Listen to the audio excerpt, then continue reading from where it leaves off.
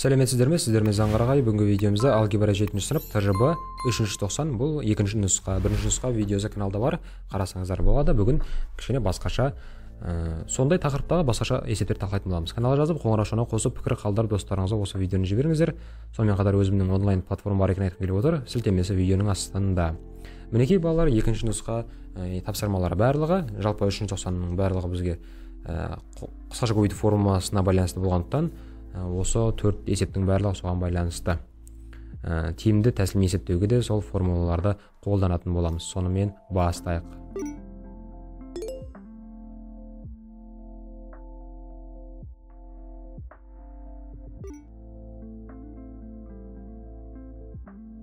Бірінші сұрақ. Тиімді тәсілмен есептеңіз дейді. Бізге мынандай бір өрнек берілген екен. 186-ның кубы азайтылған 34-тің ә, кубы. Бөлімінде 152 азайтылған 186 көбейтілген 34 мына а минус б ның кубы яғни екі өрнектің кубтарының айырмасы деген формулаға салатын саламыз. Оны бірінші нұсқада жазып кәдімгідей көрсеткен болатын. Қазір бірденнен жаза берейін иә. Яғни ол дегеніміз екі өрнектің айырмасы. Сосын барып келесі жақшада бірінші өрнектің квадраты. Так қосылған болады. Так екеуінің көбейтіндісі 186 мен 34-тің сосын келесі екінші өрнектің квадраты. Ә, бөлімінде 152 ә, азайтылған 186 көбейтілген 34 мінекейіңіздер. Енді мына жерде 186-тан 34 азайтатын болсақ 152 шығады ғой. Сол 152 мен бөліміндегі 152 қысқартайын деп тұр қысқарайын деп тұр. Сонда жалғастыратын болсақ 186-ның квадраты қосылған 186 мен 34-тің көбейтіндісі қосылған 34-тің квадраты. Азайтылған 186 мен 34-тің көбейтіндісі. Сонда бізде мынау қосу 186 көбейту 34 азайту 186 көбейту 34 екеуі қысқарады. Қалады бізде 186-ның квадраты қосылған 34-тің квадраты. Енді а квадрат минус б квадрат формуласына келмей тұр өкінішке орай. Сондықтан бізде а, квадрат плюс б квадрат деген формула жоқ. Сондықтан сондықтан ә, не істейміз? Квадраттап қосамыз. Жүз сексен алтыға жүз сексен алтыны көбейтетін болса отыз төрт мың бес жүз тоқсан алты.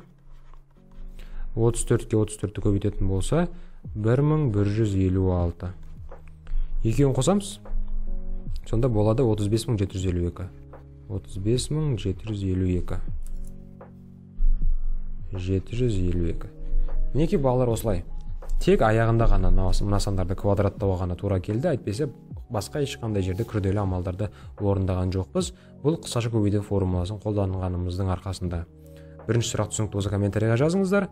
Екіншісіне өтейік.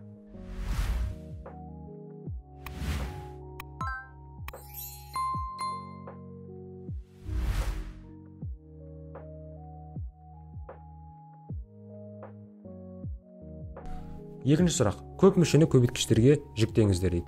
16 а куб плюс 54 б куб.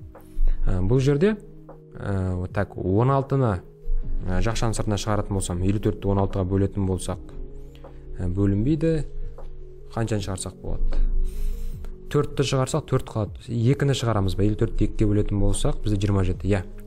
Екіні шығарайық жақшаның алдына. Сонда 8 а куб қосылған 27 б куб болады. Демек біз 8 а кубты 2 аның кубы деп жаза аламыз. Ал 27 үштің кубы болғаннан кейін 3 б-ның кубы деп жаза аламыз. Сонда ары қарай оңай. Яғни 2 көбейтілген а куб плюс б куб формуласына саламыз. Яғни 2а плюс 3b 2а-ның квадраты 4а квадрат минус екеуінің көбейтіндісі алты аб болады. И қосылған үш б-ның квадраты тоғыз б квадрат.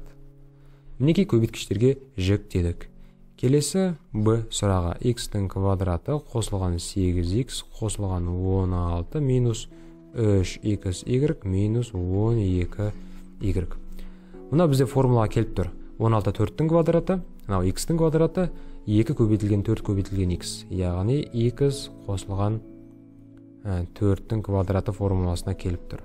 Ал мына жерде жақшаның алдына минус үш y-ті шығарғым келіп тұр. Минусты шығарғандықтан жақшаның алты ішінде таңбалар өзгереді. Яғни минус үш y кеткеннен кейін x қалады. И мына жерде де плюсқа айналады. Да ә, так y те кетті үш кетті он екіден бізде төрт қалады. Сонда екеуінде де ортақ көбейткіш ретінде x плюс төрт тұрғанын көріп тұрсыздар. Демек x плюс төртті жақшаның сыртына шығаратын болсақ бір x плюс төрт қалады. Екеуі еді ғой квадрат деген екеу деген сөз біреуі қалды. И минус үш y қалды мына жерде. Міне көбейткіштерге жіктедіңіздер келесі ц сұрағы. А квадрат қосылған 2 а б қосылған б квадрат қосылған 4 а қосылған 4 б и қосылған болады 4 байқап тұрсыздар мынау формулаға келіп тұр. Мына жерде төртті жақшаның сыртына шығарамыз. Ары қарай көрейік не болатынын. А плюс б ның квадраты. Қосылған төртті жақшаның сыртына шығаратын болсақ а плюс б қалады. И соңында плюс төрт. Бұл не мағына білдіреді деп ойлайсыздар. Қалай көбейткіштерге жіктейміз бірінші нұсқаның видеосын қараған болсаңыздар түсініп тұрсыздар. Ә, мынау бірінші өрнектің рөлін атқарып тұр мынау а плюс б деген яғни x ретінде. Екінші өрнектің рөлін төрт атқарып тұр яғни y ретінде. X-тің квадраты и төрт мынау екі ғой екінің квадраты яғни y екінің квадраты деген сөз. Ал мына жақта екі көбейтілген екі и бірінші екінші өрнек а плюс б. Түсініп тұрсыздар ма? Яғни екі x y деп дұрыс болып тұр. X-тің рөлінде а плюс б y-тің рөлінде екі мына төрт дегеніміз ғой екінің квадраты. Егер кәдімгідей түсіндіріп жазатын болсам былай жазамын қараңыздар. А плюс б ның квадраты төрт деген санды мен екі көбейтілген деп жазамын и а плюс б көбейтілген екі деп қоямын айырмашылық жоқ қой бәрібір. Екі екінің өзі төрт шығады ғой. И соңында тұрған төртті мен екінің квадраты деп жазамын мені енді түсінікті болды деп ойлаймын. Енді түсінікті болды деп ойлаймын. Осы жердегі а плюс б дегеніміз бұл x. Екі дегеніміз ол y. Яғни x-тің квадраты y-тің квадраты. Ал мына жақта екі x y болып формулаға келіп тұр демек x плюс y-тің квадраты. Ә, а плюс б қосылған y ой ой ой. Ә, бізде екінші өрнектің рөлінде екі тұрған жоқ па? Яғни екінің квадрат деп қоямыз. Болды. Ал квадрат болғаннан кейін бұны екі рет жазып қоямыз. Квадрат деген өзі екі рет көбейту ғой. Бір біріне көбейту. Міне осылай. Осылай көбейтіп жетейсіздер соңғы ц сұраған есебі қызығырақ. Бірінші нұсқада да тура осындай болған. Жаттығу мақсатында екіншісінде қарап отырсыз деген ойдамын. Келесіне өтейік.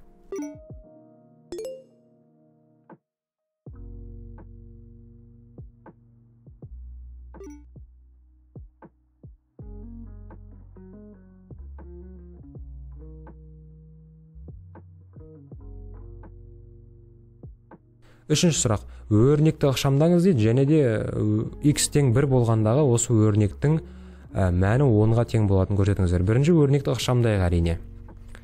Мен м не істесем болады? Так мына жақта x плюс бір x-тің квадраты минус x плюс бір x плюс үш. Алдыңғы бірінші нұсқаның есебінде бірінші нұсқаның есебінде. Әдемі болып ә, жақшаның сыртына бір жақшаны шығарған болатынбыз ортақ көбейткішті. Ал мына жақта ортақ көбейткіш жоқ, болып қалды. X плюс үш мынау x плюс бір. Екеуі бір бірімен айырмашылығы бар сондықтан біз амал жоқ ортақ көбейткіш жақшаның сыртына шығара алмағандықтан мен кәдімгідей жақшаларды ашам. Жай ғана жақшаларды ашам. Ә, яғни ә, мынау мынау формулаға келеді екен ғой. Формулаға келеді екен сол формуланы салсайық онда. Мынау бізде формулаға келіп тұр. Екі өрнектің ә, кубтарының қосындысы деген формула келіп тұр байқадыңыздар ма? Сонда ә, x куб қосылған бірдің кубы ол жай ғана бір деп қоямын. Ал x плюс үш x минус үш деген x квадрат минус тоғыз деген ә, көбейту формуласының біріншісіне келіп тұр. Демек x куб қосылған бір минус x-тің кубы плюс тоғыз x ә, x-тің кубы мен минус x-тің кубы қысқарады ғана мен ә, бір қосылған 9x деген өрнекті алдым. Мінекей болды. Енді б сұрағында в емес б. Ә, б сұрағында x тең бір болғанда дейді. X тің мәні болсын дейді бір. Яғни бір қосылған тоғыз көбейтілген бір шынымен де бізде он болады демек есебіміз орындалды дұрыс шықты деген сөз. Міне балалар осындай. Түсінікті болды деп ойлаймын. Түсінікті болса комментарий жазыңыздар. Келесісіне өтейік.